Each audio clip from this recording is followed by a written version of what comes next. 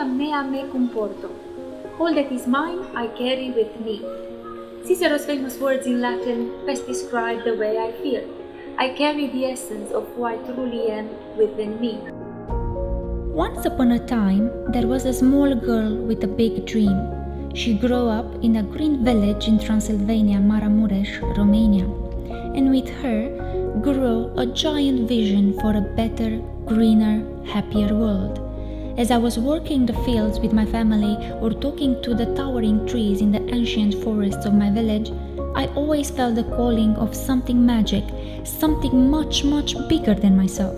Something that spoke of a greatness we all have and of making a powerful, positive difference in the world.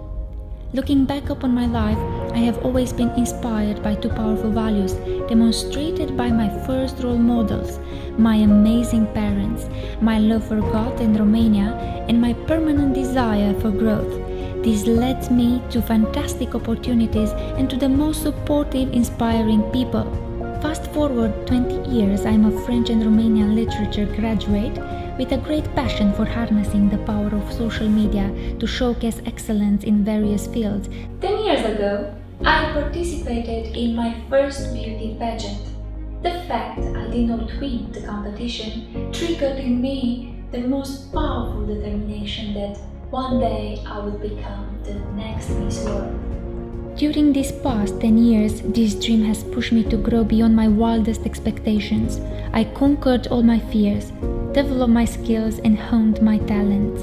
I continue to learn and pursue development in leadership skills, poetry, Latin language, one of my first loves, public speaking, social media, and fashion design.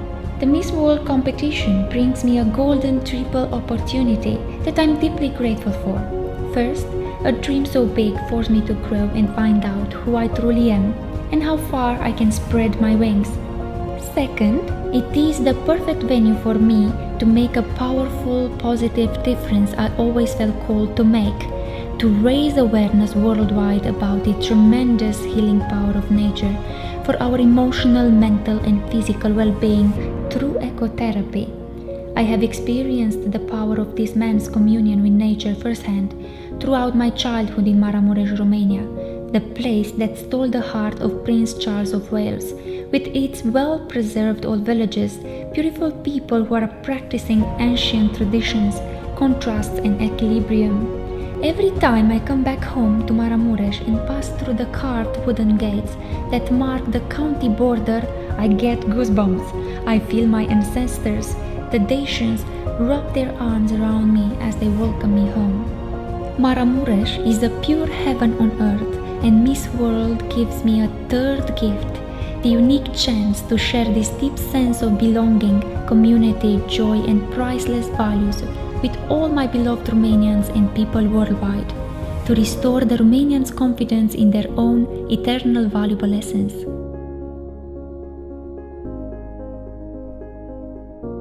This is my story, and the best is yet to come.